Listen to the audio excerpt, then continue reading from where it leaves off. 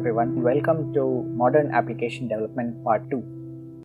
We are now going to look at the topic of GraphQL, right? The graph query language. Now, this is going to be a very high level overview, right? In particular, I will not be looking at even the syntax of GraphQL, right? Much less talking about examples or actually showing you a demonstration of it, right? This is more looking at why GraphQL, what are the problems it's trying to solve and how it approaches that problem. So, the first question why okay and we have already seen that REST based APIs are endpoint based. What that means is specific types of queries are permitted. Let us say that you want a list of students, you can probably just have an endpoint saying slash students. You want to get details of a student, there will probably be an endpoint saying slash student slash 123, right. But if you have a complex request, right, get all students above the age of 21 with uh, names beginning with A and who reside in uh, Andhra Pradesh, right? How do you do that with a REST API, right? There's no sort of straightforward way that you can construct such arbitrary queries, right? So, more likely what would happen is you would have to send the entire query across or rather just get the list of students from the server and then figure out how to sort it out at the client end or go and modify the server so that it can take such complicated queries. Then of course the question becomes how do I specify such queries, right? I mean, can I construct a URL that looks something like this? Possibly, right? But now look at this, why am I using LT over here? Because I don't want to use the symbol less than because that's a special character for HTML, okay? So how should I even construct this? Is this the right way? Are there better ways by which I can construct URLs? Should I be even using quotes? I guess not. I should probably encode them in uh, some way, right? How do you make arbitrary queries? Okay, so that's one big problem with regard to REST based APIs. The other question is very often in the design of modern websites, we are dealing with inputs from multiple sources, right? It could be as simple as saying that your user information is coming from one source. Let's say that I'm using something like, you know, Google authentication, right? Which means that the user database, well, you would probably have your own copy of a user database, but you might be getting it from one particular server which is shared across multiple different applications, right? I might along with this I might have something you know maybe I'm putting up a blog post but suddenly I have something in the blog that says the latest headlines of the day or the weather in Chennai at the moment, right? So I need to be able to fetch headlines, I need to be able to fetch something from a weather API, right? In other words, a modern web app is very likely to have inputs from multiple different data sources. Of course, you could just issue independent queries to each one of them, but supposing you wanted to have one entity out there that basically you know is trying to collate information from multiple such sources and get you a common piece of information that needs to get displayed. Can you still do it? Yeah, you would probably either need to have all the individual queries performed and then handled at the front end. Maybe your javascript or vue or the logic that is written in vue would take care of filtering out and showing only what is needed. So it can be done right?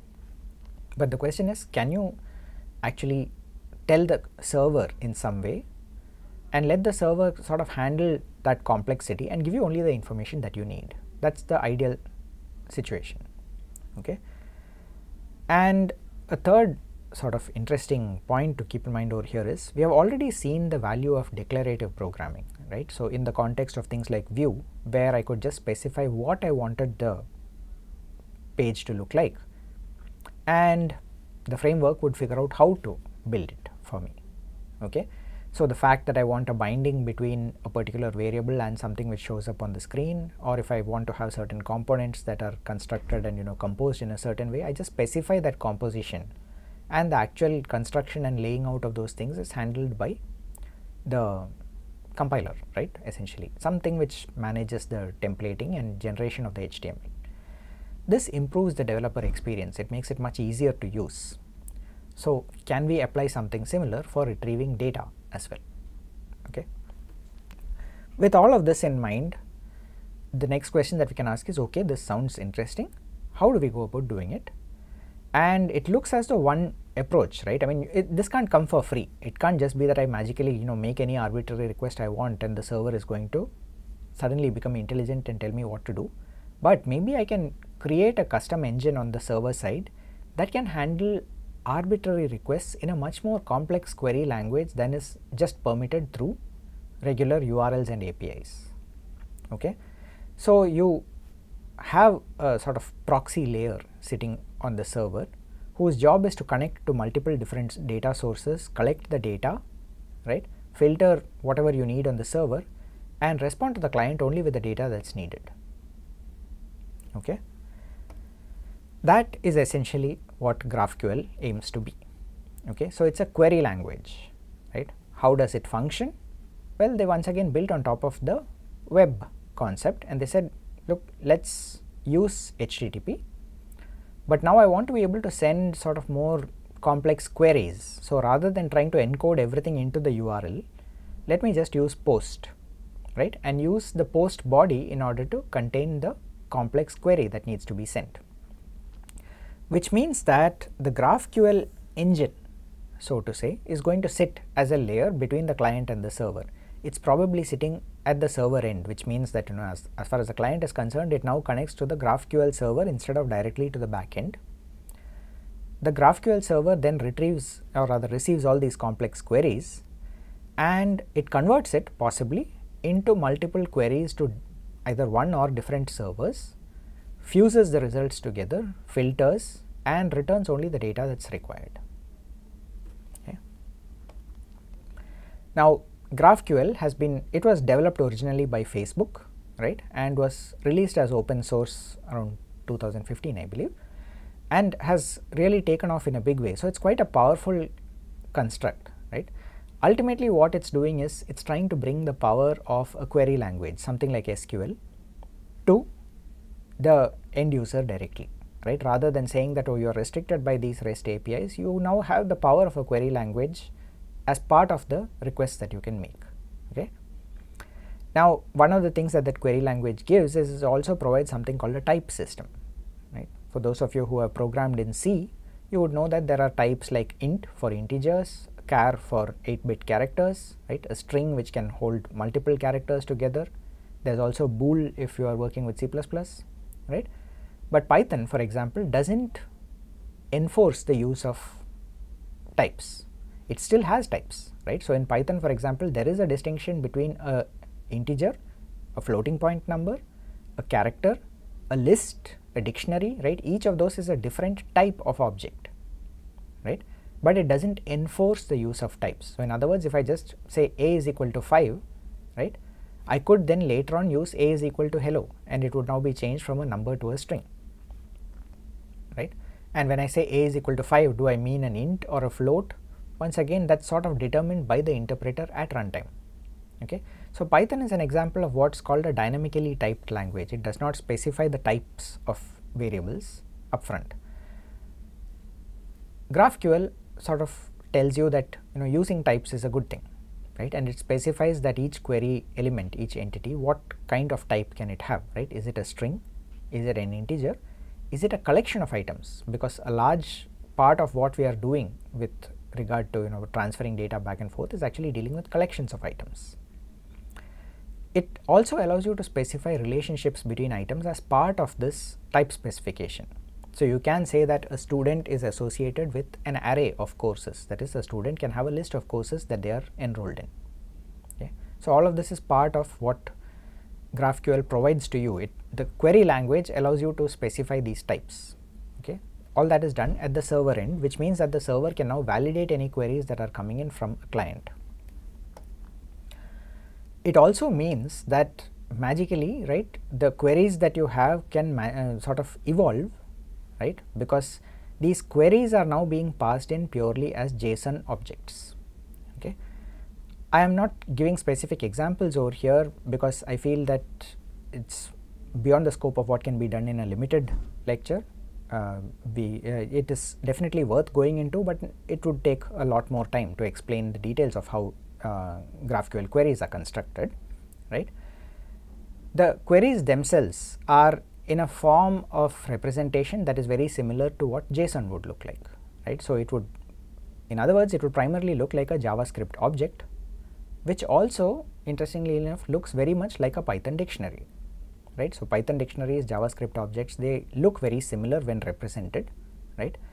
and the good part about it is because in either a dictionary or in an object you can add or remove keys very easily right you can just specify a key and assign it a value and it's present as part of the object right which means that if I want to add functionality to the API over time it's I don't need to declare a new API version number I can just pretty much add it and whoever was using it earlier would receive only the older data right? Whereas someone who wants to use the new version of the API can start making requests for new information right?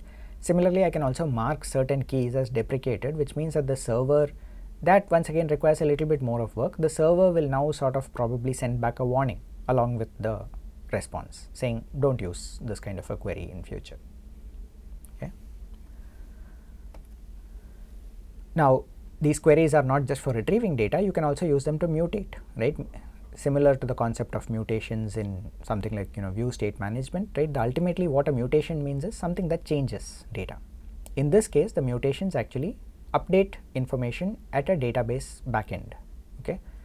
So all the crud or rather at least the CUD the create update delete part of CRUD can now be done through mutations in GraphQL and the point is this can now be pretty much generalized to any kind of query right which just alters the underlying data store okay so there are a number of different tools that you might want to explore a little bit in order to understand a bit more about how this works one of the most popular today is what's called Apollo server which is a set of JavaScript libraries that's used to build up GraphQL, right?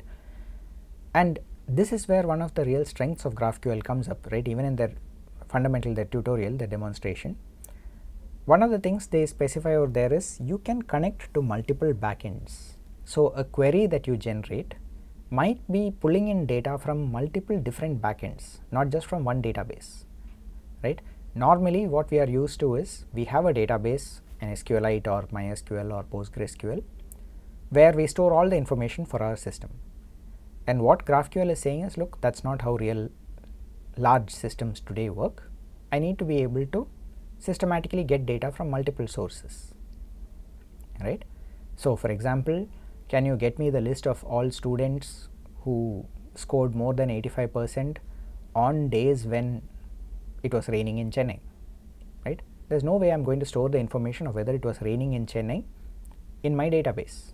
But can I get the information about whether it was raining in Chennai? Of course, there is another weather API which has a history information which can allow me to extract that information. A GraphQL server could actually connect to both, right.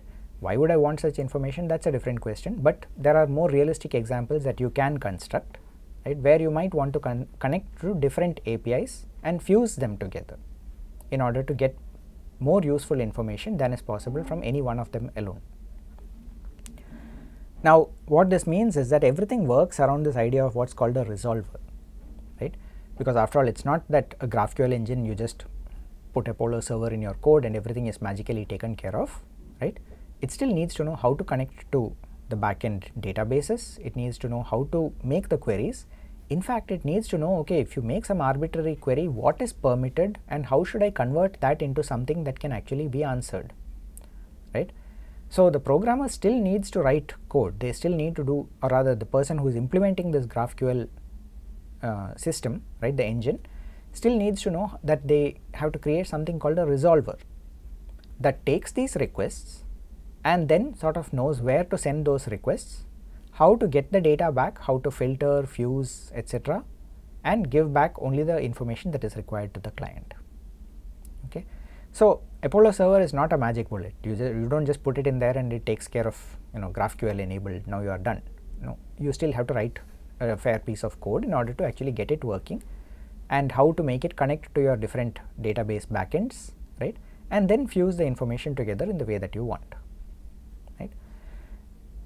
there are some tools uh, GitHub for example has something called a GraphQL Explorer which allows you to dynamically construct and test queries right and you can sort of type them in and literally on the fly see that requests are made and that gives you updated information about what would be the response for a given query right. So, in terms of constructing queries, debugging them, seeing whether your GraphQL structure is working properly all of these are nice tools to have.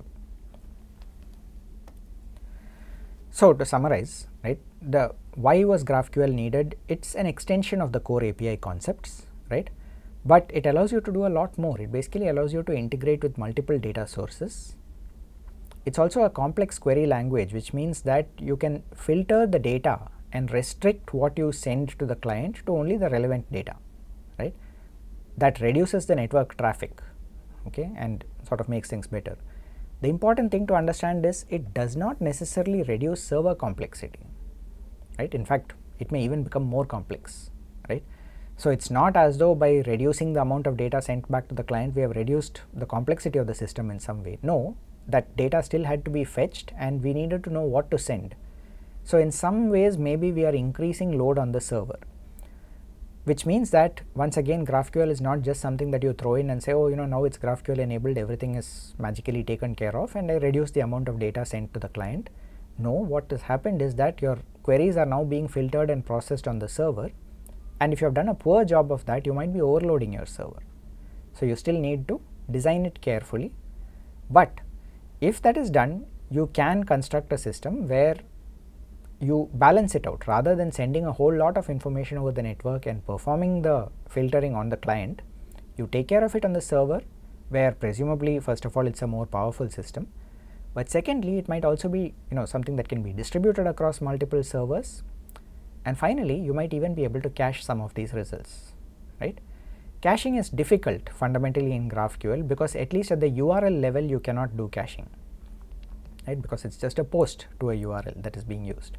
But if the server by itself knows what the queries are, it might be able to do some other level of caching internally which is not part of the HTTP caching process, but allows you to get better performance out of the server.